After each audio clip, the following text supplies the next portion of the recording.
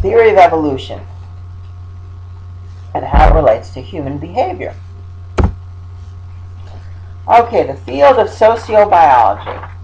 Okay, looking for the biological basis of human social behavior. Okay, so these social behaviors exist because they confer an adaptive advantage. So in other words, you could also call this uh, evolutionary psychology. Okay. So, what kinds of behaviors might be something that we that may have give us an adaptive advantage that allow us to be more likely to survive as a species? Okay. The example they talk about in the textbook is evolution, and, and a lot of research on this. Now, evolution, like on the face of it, may seem like a strange example to use to illustrate um, how you know social you know certain kinds of behaviors can lead to an adaptive advantage because if you are altruistic that means you're going to be helpful that you're willing to sacrifice yourself in some way to help others well if you are willing to sacrifice yourself then that does that may seem unfortunate for you and your particular genes that you want to get passed on to the next generation. The whole point about being having an adaptive advantage is, is that you want to make sure that your genes get passed on to the next generation. Uh, the species will survive when, and your portion of the gene pool essentially survives when you can reproduce, when you can have children. So if you go pushing people out of the way of a train and getting hit by a train, well, your genes don't get passed on. Thus, there is, there could indeed be a biological actual disadvantage for a person engaging in altruistic behavior. Okay? And that was, you know, one of the criticisms of, well, you know, in other words, criticizing evolutionary psychology, the idea that the social behaviors that we engage in uh, many of the, you know, the idea that they've evolved over time and that they allow us to survive. Well, someone might say, well, what about altruism? Altruism doesn't help you survive. Altruism, you get yourself killed. The answer well, you may get yourself killed, but in the process of helping others, you are going to ensure that other people survive and other people pass on their genes. And furthermore, you might be helping people who are similar to you. So maybe not your specific genes get passed on, but ones in the same gene pool actually do survive. And the research definitely shows that you are going to be more likely to be helpful, altruistic, to people who are uh, in the same or similar social, similar uh, kinship group to you. So, family members, close friends, people who are similar to ourselves are the ones who we are most likely going to be willing to help, to perhaps even sacrifice ourselves to help them survive. And think about this for a moment. What would happen if nobody was altruistic? What would happen if nobody helped anybody else and everyone was looking out for numero uno? Would we survive as a species? Could we survive as a species if it was every man and woman for himself or herself? Can that possibly work? The answer is no. We need to be able to cooperate. Cooperation means sacrificing some of your time to help others. It's part of what we do. You need cooperation in order to do farming. You need cooperation in order to be able to find food and be able to um, be successful, and, and this, this is true throughout human history. We need cooperation to be able to even take this particular class. There needs to be some cooperation among different individuals. It's not just you and me. It is a whole group of people that are involved in allowing this course to be created and to be run. This is cooperation. Cooperation was necessary to create the laptop that I'm using right now to record this lecture. So again, cooperation is just a part of, uh, you know, the success of our species, and altruism may be a, may be just as an aspect of cooperation. In other words, where you are helping someone, and that's part of what we do when we cooperate.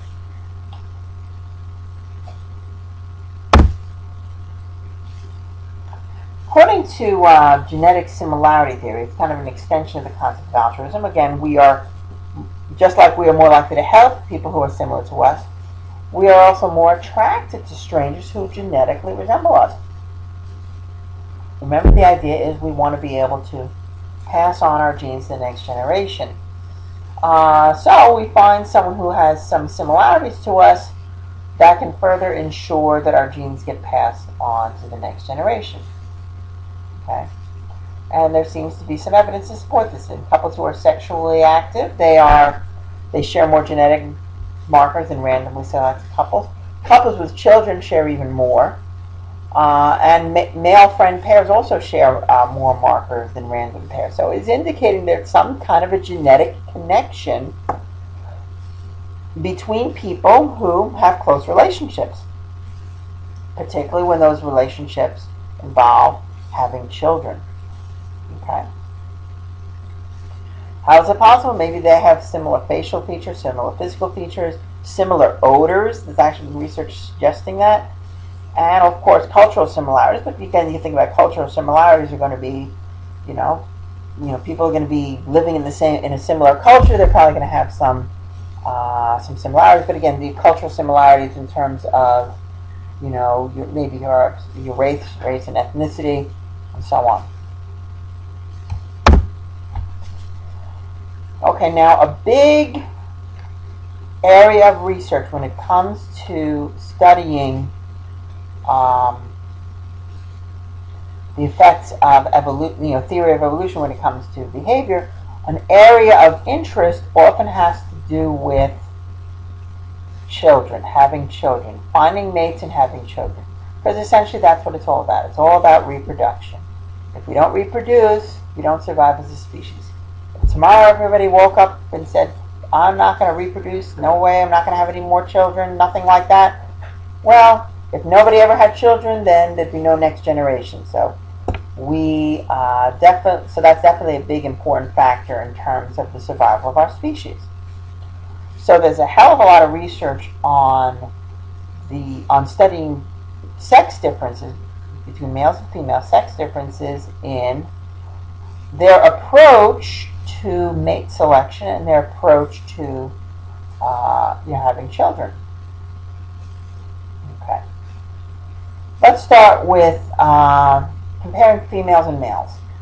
Investment in the offspring. Females have a greater investment in the offspring than males do. Now, maybe some of that has changed in that men are taking a more active role in raising children but that is really a cultural uh,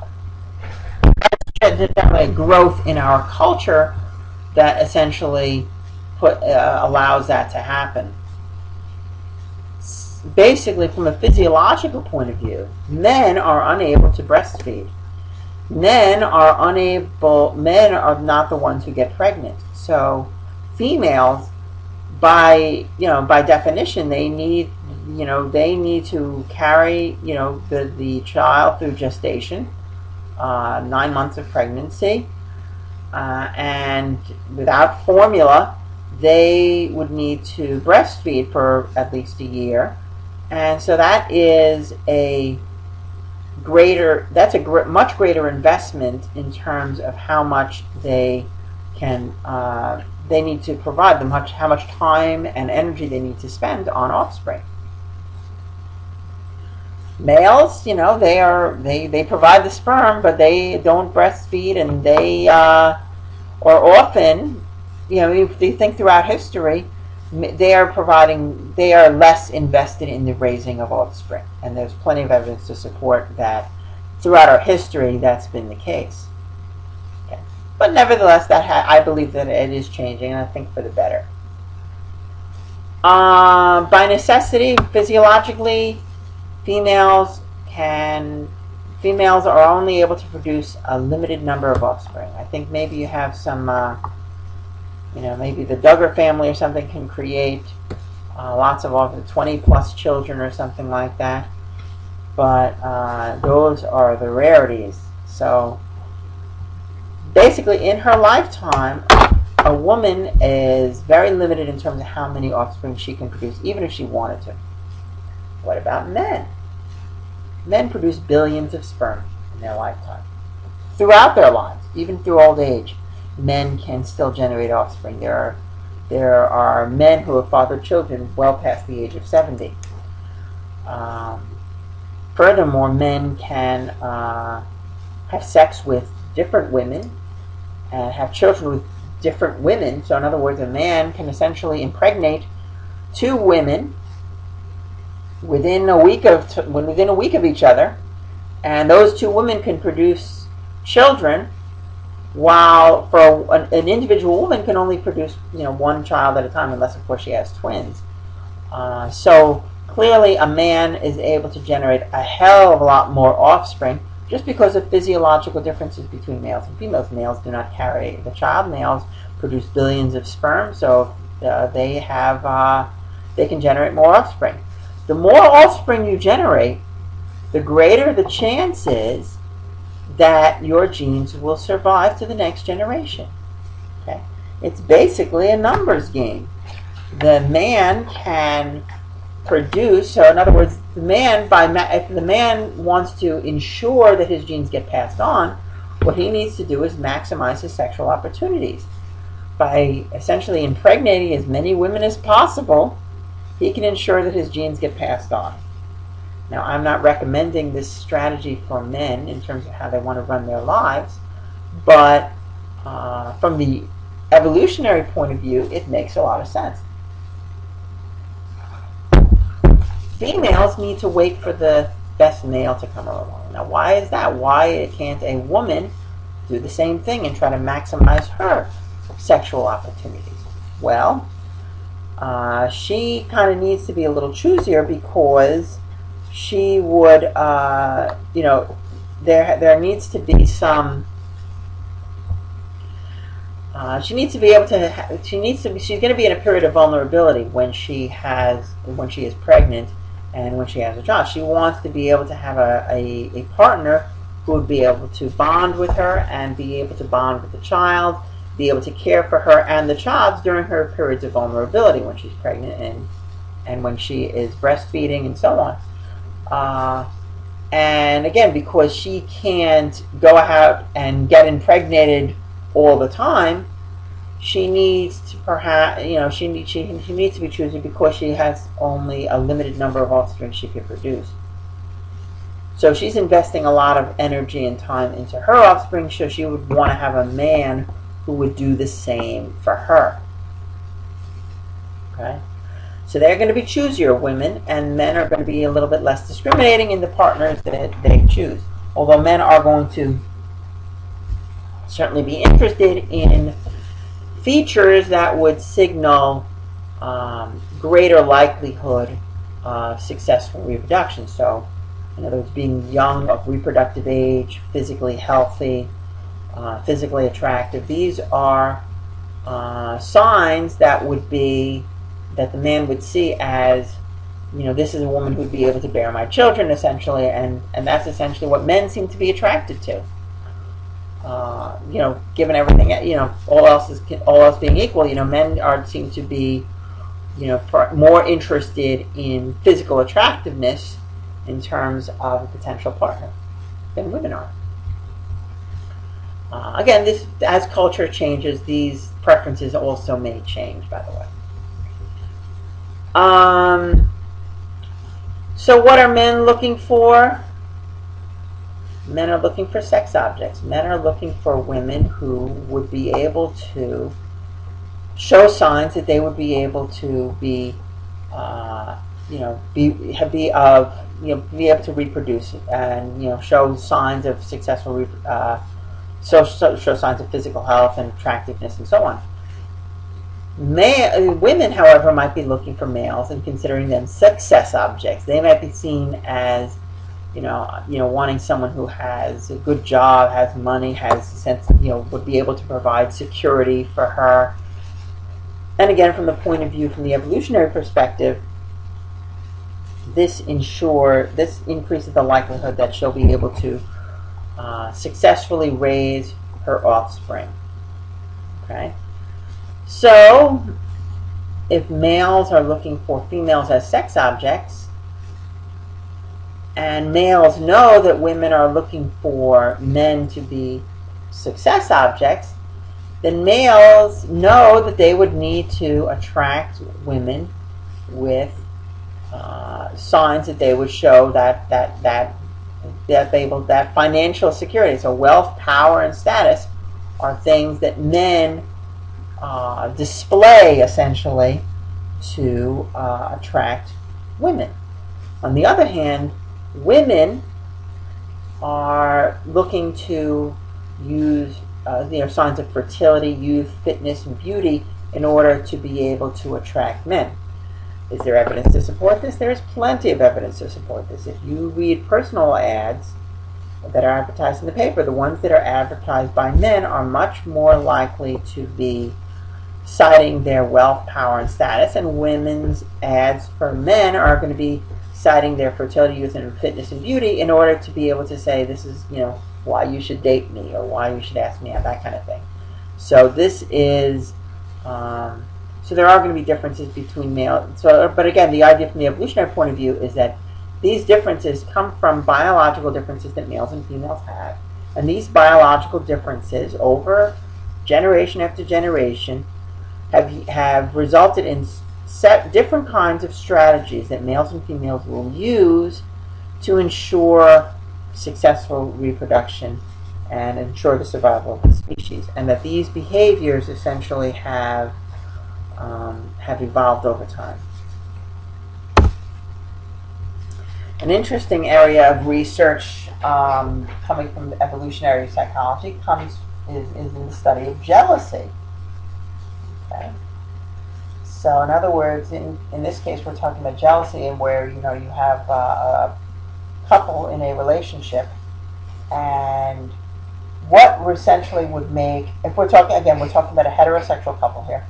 What would we, if we're talking about male and female in relationship, what would be more likely to make the man jealous? What would be more likely to make the woman jealous, as far as from their partner's behavior? Okay. Uh, it starts basically from those concerns that males and females have based on evolutionary theory. Females are concerned about family support. Now, why are females concerned about family support? As I said before, females they are they are investing a lot of time and energy into into uh, raising offspring. So they need to be able to have someone who would be there to be able to support her while she uh, goes through this period. And again, it's not just pregnancy and breastfeeding, it's also raising the child as the child grows. Uh, the females are more invested in that particular um, in, in, that particular baby. In fact, if you, there are personality, there are, there are phys, you know physiological characteristics, and we'll get to that when we get to the next chapter, which may be more relevant for females than males in terms of making them more uh, essentially physiologically more apt to be nurturing parents than males would be. Kind of the difference between oxytocin and testosterone. We'll talk about that again when we get to chapter 7. So, females need to have a partner who's going to stick around. They need to have a partner who's going to be able to provide resources for her and her and her children that allows her to get her genes passed on to the next generation. That's what it's all about. What about males? They're interested in paternity. Why are they interested in paternity? They want to make sure that the that their partner is um, carrying the child that they helped produce, not some other guy's child. If if a man's wife is gives birth to a child of another man, then the man who's in the relationship, his genes don't get passed on. His gene, his line, his genetic line stops right there. Remember, for both males and females, the ultimate goal is to get your you know, to get your genes passed on to the next generation, to be able to move on to the next generation. That is what it's all about. Uh, so, based on those physiological differences between males and females, this it leads to different concerns. So now, if those are the concerns that men and women have, men want to make sure that they're uh, that the wife that they have is producing a child that is his child and not somebody else's. So a man would be very, very upset if he found out that his wife or girlfriend was engaging in sexual infidelity. If she was having sex outside of the relationship, that would be threatening to his genetic line because she could be having sex with somebody else and she could then become pregnant with the other man's child. That is a big threat, so therefore in a study that reveals uh, in that in which subjects were asked essentially, um, you know, how you know how upset would you be if you if your part if you found out that your partner was having a passionate sexual intercourse with somebody else, the man would be very reported would be more upset over that. Um, for females, the story is a little bit different. For females, jealousy is resulting from, uh, you know, wanting, you know, that the man is forming an emotional bond with somebody else. Why is this important? Why is it essentially what we call emotional infidelity important to a woman?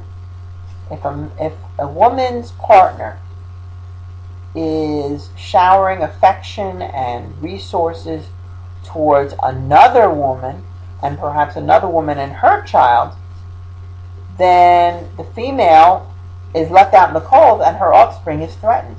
She needs to make sure that the partner is there to support her. Okay? And when asked, so this is a classic study done by David Buss, who was a preeminent evolutionary psychologist. I think he's at the University of Texas. He um, his research asked people to make a choice. Would you be more upset if your partner was having a deep emotional attachment to another person? Or would you be more upset if your partner was having passionate sexual intercourse with some uh, with another person? Now, if what they found, you know, again, so the idea being that the men were found to be more jealous of sexual infidelity the women reported more jealousy over emotional infidelity, kind of having an emotional relationship with somebody else. Interestingly enough, when I was in graduate school, I uh, used as my differ, uh, dissertation topic the topic of sexual and emotional infidelity and looking at the past research on it. I did a meta-analysis on this past research. Do you remember we talked? I don't know if we ever talked about a meta-analysis before, but a meta-analysis is where we would combine the results of many different studies, and by combining the results of many different studies, we were able. I was able to essentially kind of get a uh, a good strong answer as to what the the past researchers found on a particular type of question. So in this in my dissertation, I actually asked a number of different questions that all had to do with either sexual or emotional infidelity. And here's what I found. First thing I found was that men were more likely than women to engage in sexual infidelity. Most, I guess, people most would be would not be surprised by that. However, I will tell you that uh, as time goes on, those numbers might tend to even out in the future. Again, as more women get involved in the workforce, as more, uh, you know, you know, women, if they think about it like a sexual freedom, decide, you know, going and engaging in sexual infidelity. So we'll have to see in the future. Uh, but interestingly enough, women were more likely than men to engage in emotional infidelity, forming that deep emotional attachment to somebody else. So women strayed from their partner, maybe not in terms of having sex, but in terms of finding a deep emotional attachment to somebody else. And women were more likely than men to engage in that kind of activity. Okay? Uh, one of the things I was also looking at were the reasons for why uh, men and women engage in infidelity. And kind of looking at sex differences in terms of the reasons that they would say that they would, or that they would endorse for engaging in infidelity. So yeah, I know infidelity is a bad thing, but if I were to engage in infidelity, uh, I would do it for this reason, that kind of thing. Okay. Men were more likely than women to approve of sexual dissatisfaction as a reason to engage in infidelity. So if a man is in a relationship with a partner who is, who for whatever reason, uh, he is not getting sexual satisfaction, enough sexual satisfaction from his partner, so maybe there's some sexual dysfunction or uh, or whatever it happens to be, or boredom or whatever it is.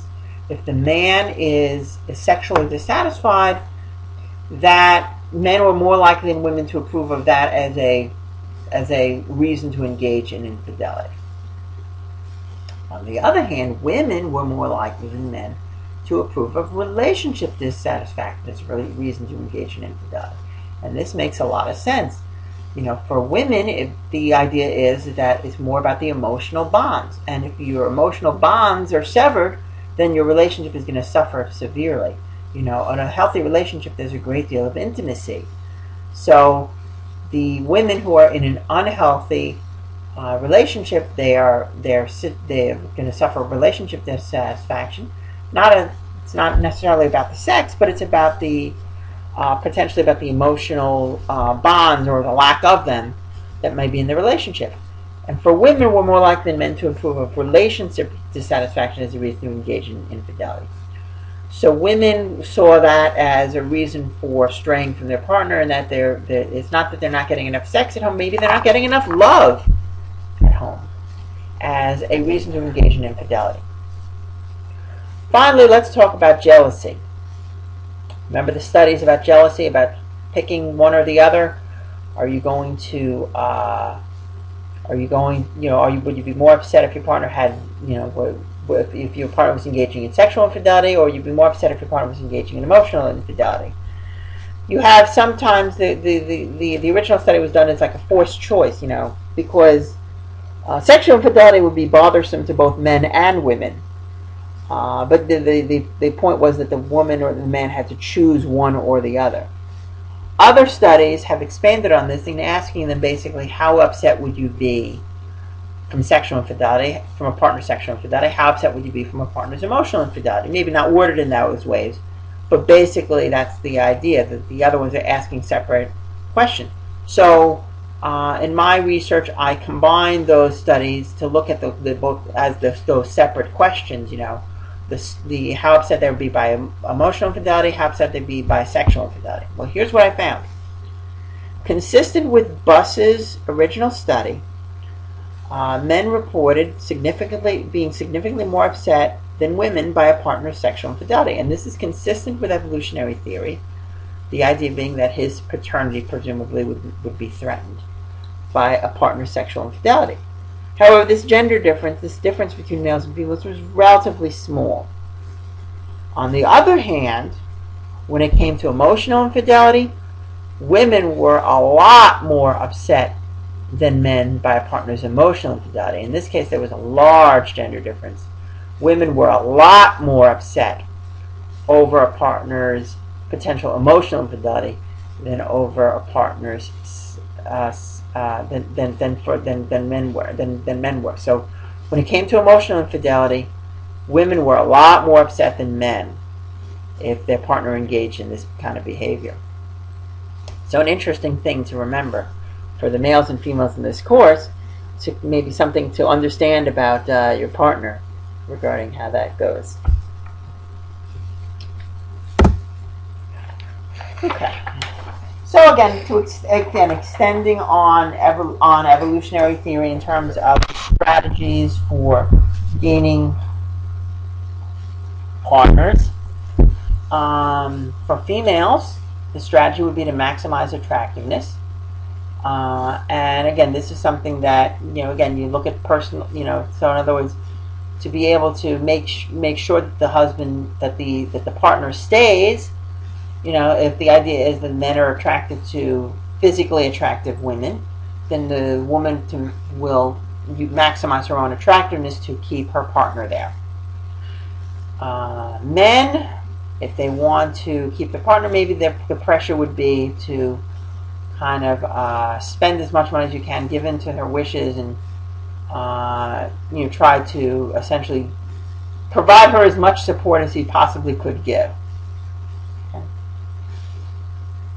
Interestingly enough, men are might be more likely to use this if the wife is young or attractive. Why? Because this young or attractive wife may be more likely to stray. For females, maybe the maximizing attractive may be more likely to, ha- to be done if the husband has high income, because again, this man might decide to spend his resources elsewhere. So uh, that's at least the, from the from the evolutionary theory the point behind this. Okay. Also, in support of evolutionary theory is the idea of the, the communication strategies. Females more inclusive, more sharing, more communal. Males more individualistic, dominance oriented, problem solving. And again, maybe, maybe reflect different kinds of uh, strategies for survival. So, in other words, this, you know, but again, realize that the, these differences between men and women, evolutionary psychology is really only providing is providing one, you know, point of view on this. There are other theoretical points of view that might explain these differences between men and women in different ways.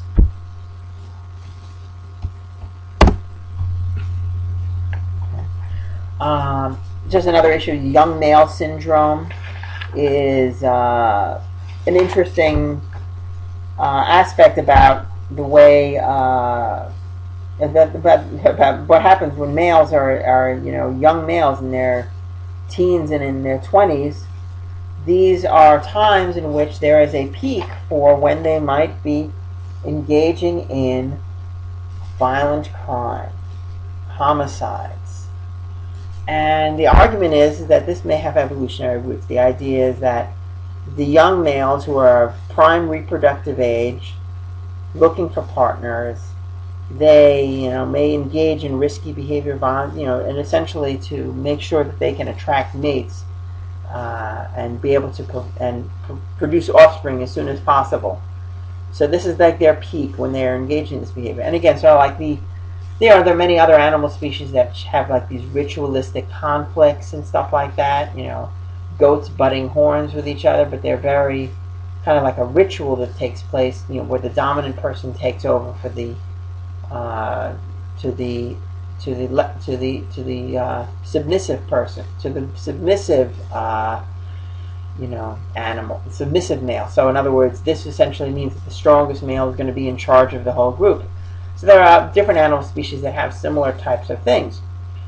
Maybe in uh, in our culture, you know, maybe we've lost those rituals, or maybe those rituals have come with guns and knives in which we now, instead of just posturing, maybe now commit homicides, actually kill people.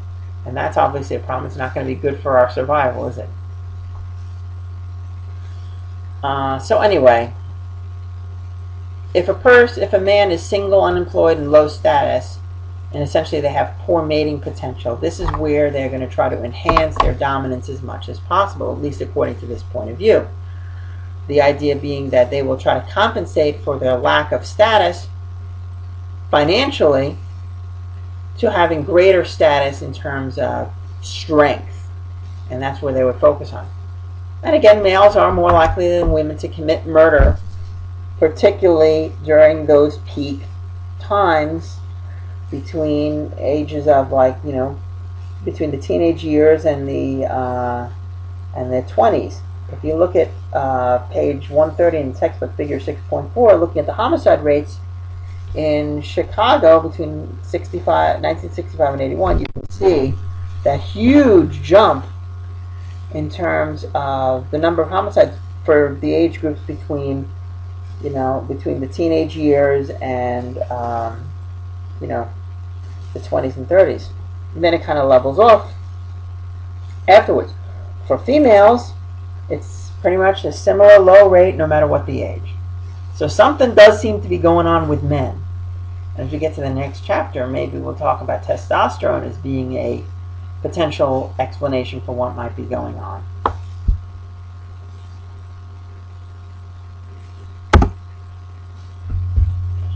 Now, with assessment, um, we don't really know enough about what is going on with um, our genes in terms of how it really has impacts on personality. I mean, we have some some evidence, little bits of evidence here and there, but it's kind of uh, not put, not really all together yet.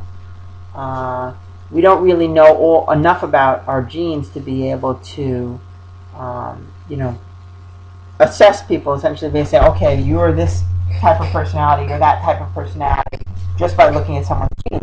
Then again, are there ethical implications for essentially, um, you know, analyzing personality by analyzing someone's genetics? Maybe it's there's a maybe we're opening a, a Pandora's box in this way, in which you know maybe people would uh, be wanting to select uh, both physical and personality characteristics in their ideal offspring, which again makes uh, some um, ethical concerns for sure.